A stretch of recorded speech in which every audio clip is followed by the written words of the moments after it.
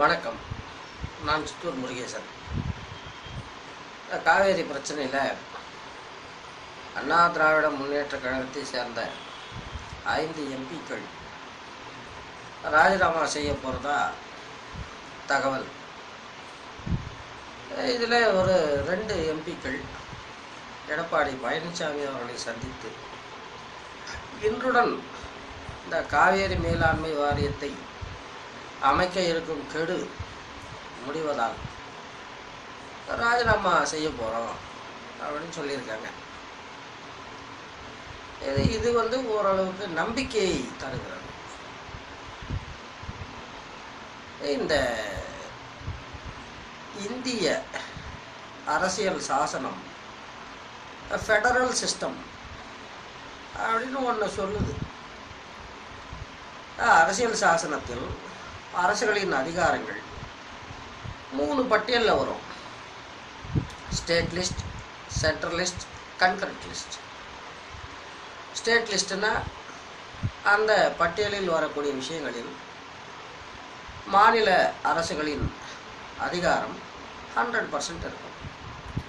அடுத்தது வந்து central list இது வந்து மத்திய அரசின் அதிகாரங்களை பட்டியலிடுது கன்கரண்ட் லிஸ்ட் அப்படிங்கிறது வந்து மத்திய அரசும் சட்டம் போடலாம் மாநில அரசும் சட்டம் போடலாம். இங்கே வந்து இதெல்லாமே வந்து இந்த கூட்டு குடும்பம் தனி குடும்பம். இதான் லாஜிக்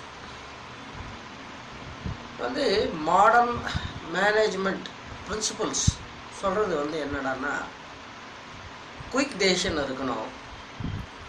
அதே போல் டிஸ்ட்ரிபியூஷன் ஆஃப் லேபர் இருக்கணும். யார் யார் எதை எதை செய்யலாம் அப்படிங்கிற அந்த ப்ளூ பிரிண்ட் பக்காவாக இருக்கணும். அப்படி இருந்தால் உடனடி லாட்ரி மாதிரி முடிவு எடுக்கலாம் இப்போ இந்த சுப்ரீம் கோர்ட் வந்து தீர்ப்பில் என்னமோ சொல்லியிருக்கு. நதிகள் வந்து எந்த ஒரு மாநிலத்துக்கும் சொந்தம் இல்லைன்னு. பேப்பரில் இருக்குது இங்கே வந்து இப்போ நம்ம மோடி சாப் கூட வலிமையான நடுவண் அரசு வலிமையான மாநில அரசுகள் அப்படின்னு சொல்லி தான் வந்தார். ஆனால் வந்து எல்லாம் வந்து வெட்டிக்கிட்டே வர்றார் இப்ப இந்தியா என்பது பல்வேறு மதங்கள் இனங்கள் கலாச்சாரம் பண்பாடு எல்லாம் வந்து ரொம்ப வித்தியாசம் இருக்கும். அதுலேயே வந்து இந்த எல்லை பகுதிகள். எல்லை பகுதிகளில் வரும்போது நேபாள் மூஞ்சை வந்து நாம் இந்தியாவிலே பார்க்கலாம். அந்த சம்பிரதாயங்கள். அதே போல் இந்த மாநில எல்லைகள். மாநில எல்லைகள் வரும்போது அங்கேயும் வந்து இந்த மாதிரி ஒரு கலப்பான பண்பாடு கலாச்சாரம் இதெல்லாம் இருக்கும். இந்தியா வந்து உருப்படணும்னா இந்த யுனைடெட் ஸ்டேட்ஸ் ஆஃப் அமெரிக்கா மாதிரி மாநிலங்களுக்கு முழு அதிகாரம் இருக்க வேண்டும். அதே நேரத்தில் இந்த சாவரென்டி சாவரென்டிக்கு எதிராக போகக்கூடிய மாநில அரசுகள் இந்திய இறையாண்மைக்கு எதிராக போகக்கூடிய ஆபத்தும் இருக்குது நான் இல்லைன்னு சொல்லலை. அப்போ வந்து படக்குன்னு மெயின் சுவிட்ச் ஆஃப் பண்ணிடணும். வந்து இந்த நேரு காலத்தில் இருந்து மாநில அரசுகளை கலைக்கிறதுங்கிறது அவளுக்கு பொழுதுபோக்காக இருக்கு. எப்போ ஒரு ஆயுதம் தேவையில்லாத நேரங்களில் சுயநலத்துக்காக அரசியல் லாபத்துக்காக பயன்படுத்தப்படுகிறதோ அது வேலையை சந்தேகம் உண்டு. இப்போ அரசியல் அரசியல் கட்சிகள் எல்லாத்துலேயும் அரசியல் பண்ணலாம். அது ஒன்றும் பிரச்சனை கிடையாது. ஏதோ ஒரு கார்கில் வார் வரும்போது பாகிஸ்தானோட யுத்தம் வரும்போது சீனாவோடு யுத்தம் வரும்போது எல்லாம் வந்து இந்த கட்சி வேறுபாடுகளை எல்லாம் தூக்கி போட்டு தேசபக்தர்களாக மாறிடுவாங்க. அது ஒரு பொழப்பா. அதாவது சாந்தி காலத்தில் கூட குறைஞ்சபட்சம் ஒரு பத்து விஷயங்கள். இந்த பத்து விஷயங்களில் வந்து ஒரே கருத்து இருக்கணும். இப்போ நாடுங்கிறது மண் கிடையாது மக்கள். தேசமண்டே மட்டிக்காடு மனுஷுலோய் அப்படின்னு தெலுங்கு கவிஞர் குருஜாட் அப்பாராவ் சொல்லியிருக்கார்.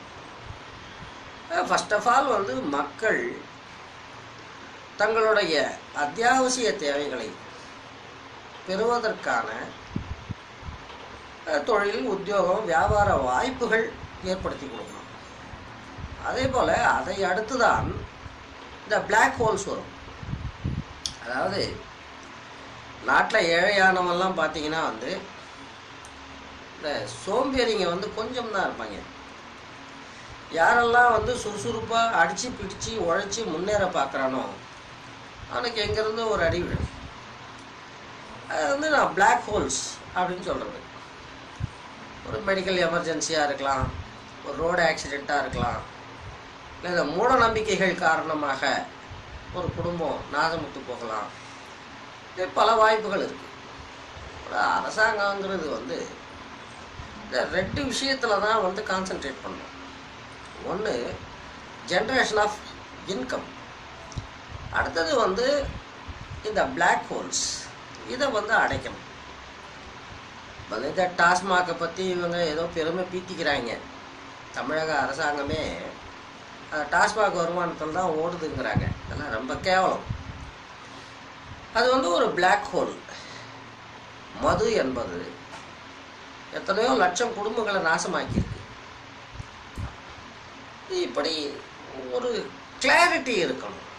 அதான் நான் சொல்கிறேன் இப்போ ஒரு நாடு பணக்கார நாடா இல்லையா? எப்படி தெரிஞ்சுக்கிறது? ஒரு ஆண்டில் அதனுடைய உற்பத்தி வழங்கப்பட்ட சேவைகள் அதனுடைய மதிப்பு தான் தேசிய வருமானம். அது கூடணும். ப்ளஸ் அந்த தேசிய வருமானத்தை ஈட்டித்தர ஒவ்வொரு குடிமகனுக்கும் வாய்ப்பு இருக்கும் வந்து லல்லு பிரசாத் யாதவ் ரயில்வேவை சுதந்திர இந்தியாவில் முதல் முறையாக ரயில்வே லாபம் பார்த்தது லல்லு பா லல்லு பிரசாத் காலத்தில் தான் அவர் வந்து கேம்பிரிட்ஜ் யூனிவர்சிட்டியில் கேட்குறாங்க நீங்கள் என்ன தான் பண்ணீங்கன்னு அதுக்கு அவர் சொன்னார்.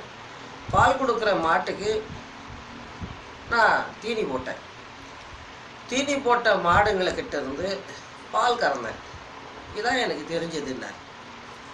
அப்படி வந்து ஒரு நேஷ்னல் இன்கம்க்கு எந்தெந்த துறைகள் எந்த சதவீதத்தில் கான்ட்ரிபியூட் பண்ணுது? அக்ரிகல்ச்சர் இண்டஸ்ட்ரீஸ் சர்வீசஸ் எத்தனை சதவீதம்? அந்த சதவீதத்தின் அடிப்படையில் பட்ஜெட் ஒதுக்கீடு இருக்கணுமே தவிர வெட்டியாக வந்து இவங்க கடன் கடனுக்கு வட்டி வட்டி மேலே வட்டி அந்த வட்டிக்கு வட்டி மேலே வட்டி. அடுத்தது வந்து இந்த நிர்வாக செலவுகள். அடுத்து இந்த இராணுவம் இப்படி வீண் விரயமாக தான் போயிட்டு இருக்கே தவிர விவசாயி வந்து கேட்குறது வந்து ஜஸ்ட்டு அந்த பாசன நீர் அவ்வளோதான் வந்து நாம் வந்து ஏதோ பாலைவன பிரதேசமாகவோ பனிப்பிரதேசமாகவோ இருந்தால் பரவாயில்ல. இந்தியா வந்து ஒரு ஆசீர்வதிக்கப்பட்ட நாடு. அங்கே இருக்கிறத இங்கே கொடுக்கணும் அவ்வளோதான் நதிகள் இணைப்புன்னு ஜல்லி அடிச்சுக்கிட்டே இருக்கானுவன் இதில் ஒரு குரூப்பு இவங்க வந்து ஐயோ நதிகள் இணைப்பு நடந்துட்டா கடலுக்கு நல்ல தண்ணி போகாது பேலன்ஸ் மிஸ் ஆயிரும். இப்படியெல்லாம் ஒரு பக்கம் போயிட்டுருக்கு. இப்போ பஞ்சாதி சாக பழிக்க இருக்கிறாருன்னா அந்த நேரத்தில் வந்து எதை வேணும்னா வைக்கலாம். எதை வேணும்னா விற்கலாம் இது ப்ரியாரிட்டிஸ் இருக்குது சுற்றுச்சூழல் இதெல்லாம் வந்து முக்கியம்தான் இல்லைங்களே? அதுக்கு ஃபர்ஸ்ட் ஆஃப் ஆல் நல்ல மனிதர்கள் வாழணும் இல்லையா? நான் என்ன சொல்ல நினச்சேன்னா அரசியல் கட்சிகள் எல்லா அரசியல் கட்சிகளும் ஒரு பத்து விஷயத்தில் அரசியல் பண்ணணும். என்ன? அது ஒரு ப- பட்டியல். அதாவது வந்து இறையாண்மை. அந்த விஷயத்தில் அரசியல் பண்ணக்கூடாது. அடுத்தது வந்து நாட்டின் பாதுகாப்பு. அதில் அரசியல் பண்ணக்கூடாது. அதுக்கு அடுத்தது தான் இது வருது. அதாவது நிர்வாக செலவை குறைக்கணும். அதான் முக்கியம். நிர்வாக செலவை குறைக்கணும். அதே போல் இந்த அது என்னது உள்நாட்டு பாதுகாப்பு.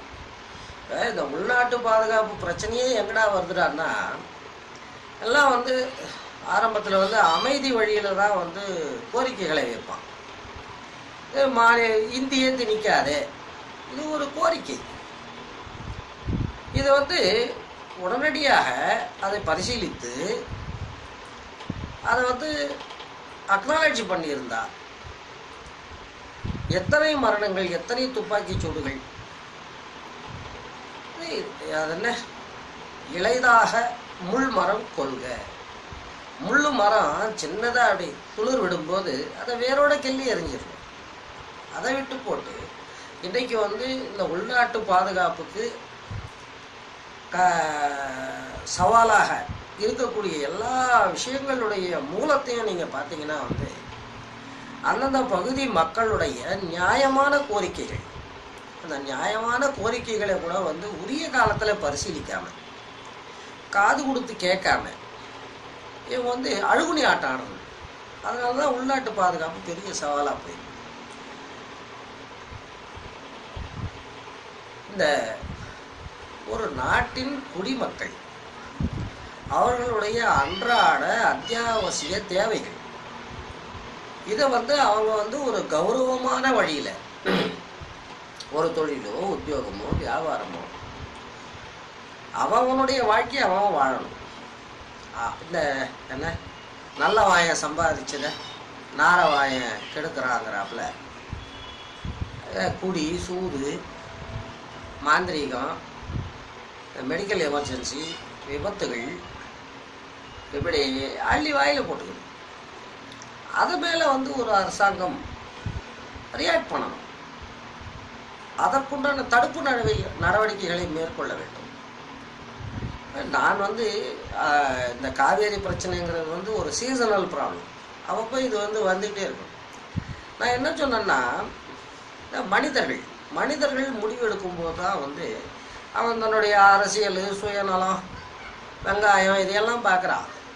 நான் என்ன சொல்கிறேன் ஆட்டோமேஷன் பண்ணிடுங்கிறேன் இப்போ ஒரு அணையில் எவ்வளோ தண்ணி தேங்குது?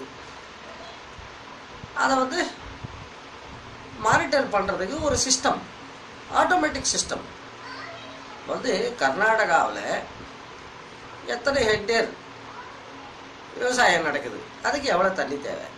அதே போல் தமிழ்நாட்டில் எவ்வளோ விவசாயம் நடக்குது? அதுக்கு என்ன தண்ணி தேவை? இதெல்லாமே வந்து ஒரு சின்ன சாஃப்ட்வேர் ஒரு சின்ன சாஃப்ட்வேர் வந்து ஆட்டோமேட்டிக்காக பைசல் பண்ணிடும் ஒரு சயின்டிஃபிக் அப்ரோச்சே கிடையாது. ஒரு குறுகிய நோக்கம். கர்நாடகாவில் தேர்தல். கர்நாடகாவில் நமக்கு வாய்ப்பு இருக்குது மேலாண்மை வாரியம் அமைக்கக்கூடாது. இது என்ன நியாயம்? இப்போ நீ வந்து கர்நாடக விவசாயிகளுக்கு இதையெல்லாம் செய்ய போகிறோன்னு சொல்லு. அதாவது இன்றைக்கி இருக்கக்கூடிய விஞ்ஞான முன்னேற்றம். இஸ்ரேல்லலாம் வந்து விவசாயம் பண்ணுறான் பாலைவனத்தில் விவசாயம் பண்ணுறான் இங்கே இருக்கிற கர்நாடகாவில் பண்ண முடியாதா? இப்போ ரெண்டு இட்லி இருக்குன்னா ஆளுக்கு ஒரு இட்லி எடுக்கலாம் எடுத்துக்கலாம். ஒரு இட்லி இருக்கும்போது ஆளுக்கு பாதி இட்லி தான் வரும். ஒரு சிம்பிள் லாஜிக் கூட தெரியாமல் இது வந்து எவ்வளோ பெரிய இஷ்யூ ஆக்கிக்கிட்டு போகிறானோ பாருங்க.